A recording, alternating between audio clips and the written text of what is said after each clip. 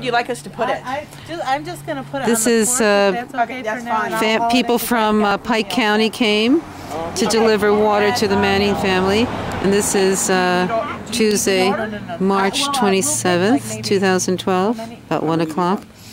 And they came, Is that it? Well, there's a lot of people in Dimock that probably.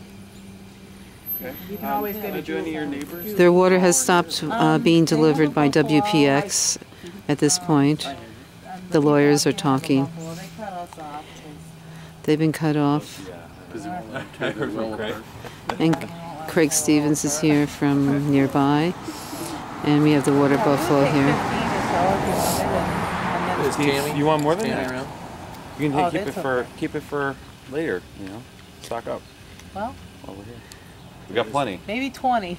Okay. Okay, that Okay. would be fine. All right. Yeah, thank you. Thank you so much.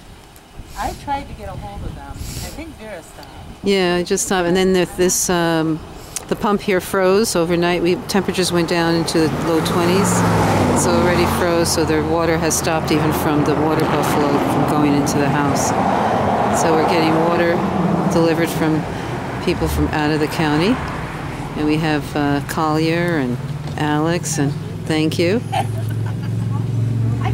Into the house. Got our usual traffic.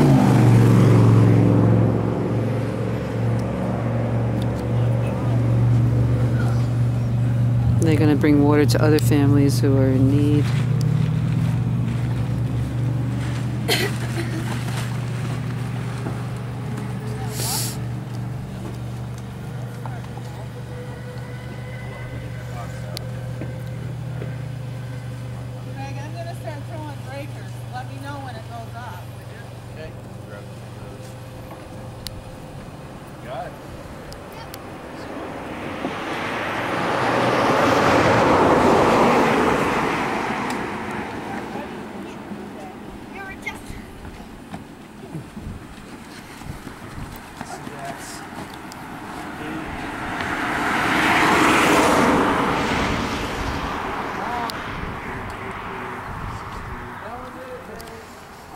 Thank you for the water. Hey, no problem.